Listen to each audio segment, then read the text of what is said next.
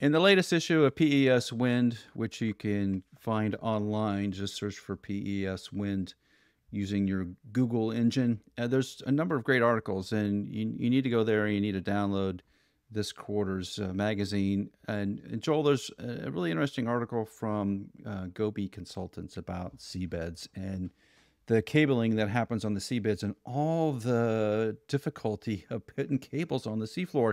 You always think I do as an electrical engineer. I'm like, it's a cable. Just drop it on the seafloor and maybe put a couple of rocks on it to keep it from floating away, and you should be good. But it's a lot more difficult than that.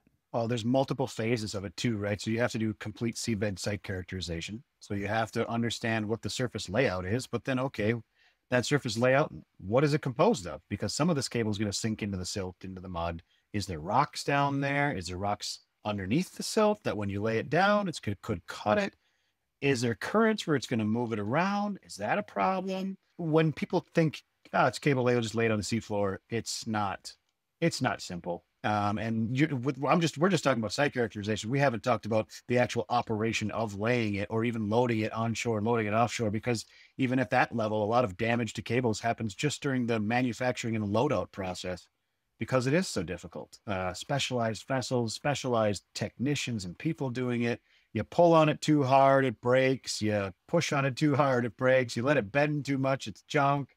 It's very, very, very difficult to lay cables correctly. And if you remember, Allen, I think it was in 2021, there was a uh, like a $1 billion, like a nine figure insurance case about cable lay in the North Sea on a big wind farm.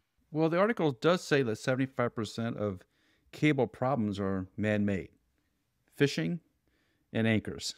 And as we had seen, was, was it late last year, a couple of anchor drops where their anchors were drug on purpose. There's going to be a lot more concern about that now and how those uh, power cables are covered or buried. I, I guess pretty much uh, wasn't the EU pushing to bury all the cables, particularly around the UK? Yeah, there's there's I mean there's it's difficult in the UK too because there's trenching machines, right? So you have trenching machines that can trench things really easily into silt, mud, and, that, and those kind of loose sediments. However, if you've ever been at some of these landing spots, like say like the Scottish coast, like it's all rock, right? So now you have a landing problem. You know, so you can you can bury, you can cover with concrete mattresses, you can do rock bags, you can do all kinds of great stuff. You can also bury it a couple meters down with a trenching machine, but then there's the approaches and the, the currents offshore that will unbury them and things. It's very difficult to get it correct. Yeah, it, it you need to go check out this article because it, it lays out all the issues with protecting cables, and you can see this in PES Wind. So just go on to Google and look up peswind.com and read the article. Very good, and and nice job by GoBe, by the way. Uh, I didn't know some of the things I've, I've learned a lot from Joel over the last year or two as he explains this to me very slowly, but this article was full of great details. As wind energy professionals, staying informed is crucial and let's face it, difficult. That's why the Uptime Podcast recommends PES Wind Magazine. PES Wind offers a diverse range of in depth articles and expert insights that dive into the most pressing issues facing our energy future. Whether you're an industry veteran or new to wind, PES Wind has the high quality content you need. Don't miss out. Visit peswind.com today.